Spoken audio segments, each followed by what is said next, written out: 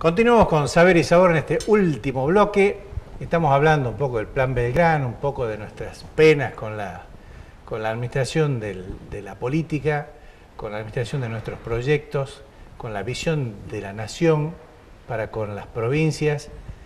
¿Qué tendremos que hacer de ahora en adelante, por lo menos los salteños? ¿Qué- ¿En qué tenemos que ser más eficientes y afinar nuestra puntería para que nuestra zona se desarrolle, vengan inversiones y empiece el crecimiento y de ahí se derrame todo lo que se pueda derramar en educación, en salud, en vivienda, en cloaca, en agua, etcétera.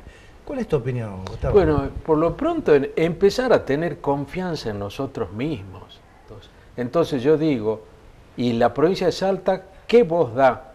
¿Quién fija las prioridades? ¿Quién sabe mejor que los salteños cuáles son nuestras prioridades? Tenemos gente muy preparada que está en condiciones de llevar adelante todo esto. Yo estoy conociendo que Marcelo ha, trabajado en el proyecto del cajón y resulta que el intendente Rosario La Frontera se lo quiere dar a una consultora de Buenos Aires. ¿Esto es así o no es así? Entonces no podemos nosotros seguir eh, supeditados a consultoras que no sabemos quién las maneja, cuánto cobra y para qué. Acá hay materia gris suficiente para llevar a cabo todo. Y Bueno, a mí no me engañan. pero bueno, no quiero- pero, no pero quiero- falta decisión política, ¿no? No, sí. Es que existe el curro, perdón, de la expresión de, de las consultoras. Y ese es parte del centralismo. Yo quiero contar una anécdota. Eh, hace un mes y medio tenía que dar un- una charla que me habían invitado sobre el tema del Bermejo y, y demás, el tema de las cuencas. Entonces, este, me junté con, ahí lo conocí, digamos, el- eh, la experiencia y el trabajo que estaba realizando Marcelo Arcelán, nos juntamos un día domingo. Eh, la disposición de Sí, ellos, que agradezco. Normandito Fleming tenía que estar esta noche en este programa, pero ¿Ah, sí? tenía un compromiso. Sí, sí. Le Bueno, resultó imposible Norm- venir. Normando Fleming, hijo, y Marcelo Arcelán nos juntamos un domingo a la tarde a trabajar y ahí descubrí a dos personas que realmente este, son recursos humanos valorables. No, no estoy acá haciendo una alabanza gratuita, sino este, diciendo la, la verdad. En base a lo que decía Gustavo, que no valoramos, eh, no, no sabemos que tenemos gente con, con experiencia, capacitada, este, que sea bien formada, eh, que puede trabajar y puede identificar cuáles son lo- lo- los proyectos importantes. Vos hablabas recién del tema del manejo de cuenca, no solamente el Bermejo, eh, el juramento, que son las grandes cuencas y el Pilcomayo. Tenemos un Bueno, montón de, por eso, de Julio, subcuencas y ¿dónde, ríos. dónde hay que debatir esto? ¿Quién tiene que ofrecer el lugar para debatir? ¿Quién le puede decir al intendente de Tartagal que Tartagal necesita no un estadio único, sino otra cosa? Bueno, ese es el consejo que vos decís, el consejo económico social, que pasaron años, que no se, no, no- no se instrumentó, este, y, y- y bueno. El consejo está. Julio, ¿me permitís una reflexión No, desde sí, lo técnico? sí, sí, sí. eh, de lo- desde lo técnico y económico, que redunda en todo lo que es, o rebalsa hacia todo lo que es productivo y de desarrollo, que, que es lo que estamos hablando. Si uno hace verdaderamente manejo de cuencas, implica que todas esas obras, cuando uno, a ver, vamos, se traduce, se lo ve muy bien en, las rutas. Normalmente, si uno no hace manejo de cuenca, los puentes son más grandes, eh, las obras son eh, de otra envergadura y significa recursos de toda la gente que va volcado hacia situaciones que no tienen que ser. Si uno hace manejo de cuencas, esos puentes, esas obras en la ruta, en las ciudades, son de menor envergadura y esa plata puede estar destinada a, por un lado, eh, ir, en, eh, digamos, en favor de no, te- no tener problemas con la erosión hídrica y con las crecientes, y por otro lado dejar agua útil para el desarrollo productivo. Y cada cosa equilibrada en su lugar. Eso es manejo de cuenca. Es decir, lo que tengo que conservar, lo conservo. Lo que puedo desarrollar, lo desarrollo sustentablemente. Y todo eso vuelca hacia toda la población en su conjunto porque la cuenca no es el productor, no es el que está en el campo, la cuenca somos todos. La maestra, el profesor, Digo, estamos eh, todos en la en El medio televidente tendría que eh, imaginarse, por ejemplo, que cuando uno traza una ruta, un camino donde no lo hay, y al cabo de dos años que está hecho la ruta pasa por ese lugar, no puede creer la cantidad de producción que hay a ambos lados del, del camino. Eso se llama desarrollo y producción. Y lo mismo ocurriría con, el, con las cuencas de los distintos ríos.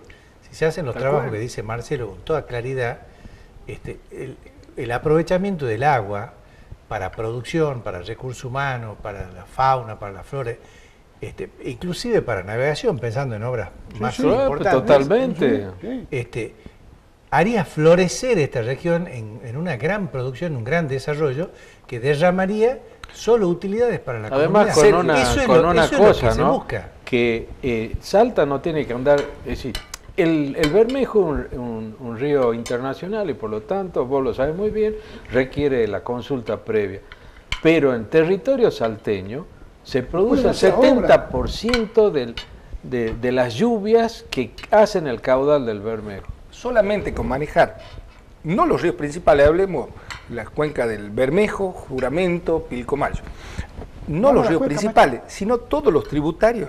En la provincia podríamos triplicar la superficie de riego sin un esfuerzo supremo, o sea, siendo muy conservador. O sea, y hectáreas. Siendo muy conservador. Y- qué trabajo. bajando qué- sensiblemente el costo. Bajando terriblemente el costo. Esa es la otra buena noticia. O sea, primera noticia, tenemos mucha agua. Tenemos la- el privilegio de tener mucha agua. Segunda buena noticia, si uno hace manejo de cuenca, es significativamente inferior las inversiones que si uno hace lo que se llama o que le dicen manejo de cuenca y que no lo es, que es intervenir directamente con obras civiles sobre los cauces. Así La obra civil es muy importante, pero es muy importante hacer todo el manejo El integral. manejo. Y ese manejo integral significa bajar costos, pero directamente a niveles del 10, 20, 30% de lo que significaría intervenir directamente en los, en los cauces de ríos y arroyos. Es el diputados y senadores de los departamentos que baña el Bermejo tendrían que estar todos los días golpeando puertas por eso. Han pasado 30 años, más de 30 años de recuperación de la democracia y no han hecho nada por sus departamentos y por sus pueblos. El juicio histórico para esa gente va a ser lapidario. Sí, y, ahí- no hay que quitarle también responsabilidad al área de, de- de- de planeamiento y de formulación de proyectos. No, que y a la sociedad Ejecutivo. civil. Sergio, la- la- que el que problema es Sergio, hoy no hay planeamiento. Hay una Secretaría de Ni, Planificación. ni secretaría, uy, no sé, yo no, no No, la Secretaría de Planificación existe. Existía. No, pero ahora, hoy- ahora. Sí, hoy sí hay- sí hay. Sí, sí. Bueno, la secretaría, pero la planificación es fundamental. Claro, cuando vos tenés un plan de desarrollo estratégico necesitas un ministerio de planificación. Pero es, está a nivel de secretaría o de, Y- sub- y qué o de decir- subsecretaría. Y ¿no? qué no, decir el papel de nuestros legisladores nacionales. También tienen que, eh, también tienen que gestionar este, y, y llevar realmente lo que, la, lo que Salta necesita para lograrlo discutiendo con los que son ejecutivos del Poder Ejecutivo Nacional, que son ministros del Poder Ejecutivo Yo no Nacional. espero mucho de los diputados nacionales salteños. Y lo Bueno, digo públicamente. No espero mucho, por no decir que no espero nada. Salvo tal vez una o dos excepciones. Pero no es un problema solamente de ellos. Es un problema de la sociedad salteña. Nosotros como sociedad somos los que ten- nos tenemos que movilizar. No es solamente la dirigencia política. Tienen la mayor responsabilidad porque por el voto popular han asumido una función que nosotros no tenemos. Entonces, Pero convengamos que la pero yo gente- me siento responsable. Sí, sí. Pero convengamos que el común de la gente, la- el, señor que camina por la calle, la señora que nos está viendo esta noche, mañana no sabe qué hacer. No tiene herramientas para. Sí, a, a veces ni Pero, lo reciben los supuesto. legisladores, ni los concejales no tienen tiempo para recibirlo. Digo, Esa es hay responsabilidad una de la responsabilidad que hay que asumir cada uno también, ¿no? El presidente del Consejo Pero no tenemos- el presidente de los contadores, el presidente de los geólogos, Sí, está bien. todos ellos, las universidades, todo el Consejo Económico y Social, ahí están todos. Ahí están todos. Lo que pasa es que no tienen que convertirse el, el Consejo Económico y Social también en aplaudidores. No tienen que ser aplaudidores y poder tener capacidad crítica para trabajar poniendo los puntos sobre la En las cosas que realmente nuestra Salta Lo necesita. peor que nos puede pasar es que, al- que al Consejo Económico y Social le quepa el destino del Consejo de la Magistratura. ¿Cuánto se ha peleado por esa institución y no están arraigadas en el, en el pueblo No, salteño. no, no, y no cumplen la, eh, la función. sea, Entonces, bueno, ya tenemos el caso del Consejo de la Magistratura, no repitamos. Consejo Económico y Social, ahora se habla de un Consejo Económico y Social Nacional. Lo tenemos acá, siempre nos anticipamos, pero no conseguimos nada. Explíquenos por qué no está el plan Bermejo en el plan Belgrano. Y este es un tema inclusive que fue planteado someramente, ¿no? Por mí, porque no era parte de eso, sino simplemente un presentador en el precoloquio de idea. Lo planteé. Espero que alguien... Y aparecerá una consultora con un paquete cerrado que dirá, acá está. Y yo creo que ese día va a ser un bo- una bofetada a la intelectualidad salteña. Dentro de esto que siento que por ahí tenemos cierto escepticismo por, por- por el tema, Totalmente, la buena, claro, la buena noticia es de que tenemos Es buenos recursos. Marcelo, El ¿no? más joven. Tenemos, tenemos, tenemos buenos recursos y buenas cosas que no sabemos ni nosotros lo que tenemos. Es cierto. Entonces, ahora falta, eh, los elementos están. Espero que se den Hay cuenta los, de- humanos, los- los- quiénes son los decisores acá en- Claro. en, en este tema, como para llevar adelante las cosas. Ahora, por ejemplo, nosotros estamos haciendo un, un estudio preliminar a la provincia de Tucumán. La provincia de Tucumán, eh, si uno hace manejo de cuenca, tiene una potencialidad también muy grande, como Sal- Salta tiene una po- potencialidad gigante para desarrollar sus recursos a través del ¿Vos agua. dónde más estás trabajando, Marcelo? Eh, eh, En- eh, bueno, en, en Bolivia... Perdón, ¿y ¿qué estás haciendo en Tucumán? No, en Tucumán estamos haciendo un estudio preliminar para toda la provincia y de los primeros resultados de los 2.350.000 hectáreas que tiene la provincia de Tucumán, aparte de evitar que se caigan los puentes, que se deteriore la ruta y demás, con manejo de cuenca podríamos dejar unas 250.000 hectáreas con riego. Eso es, eh, llevaría valores eh, impensados a la parte produ- productiva de Tucumán, ¿no?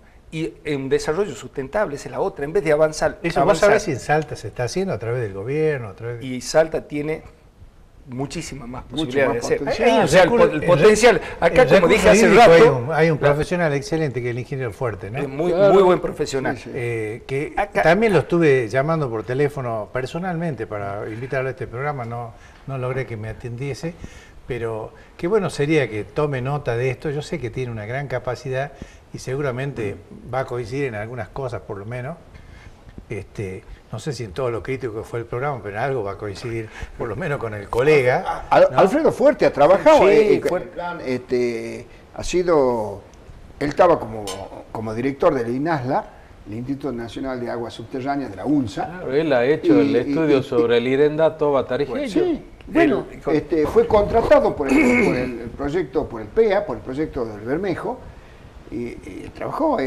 eh, conocedor de... Bueno, lo vamos a invitar para ver que venga a hacer su aporte también sobre este No, tema y- en y otro nos- nos programa. juntamos varias veces a, a hablar con Alfredo y él tiene la idea de esto. Ahora sería bueno que eso se plasme en una realidad Claro, para que la haya provincia. apoyo. Se me Como dije- el tiempo, muchachos, Ah, perdón. lamentablemente.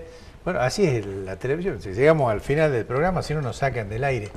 Che, tengo que agradecerles, amigos, por haber venido a compartir esta mesa.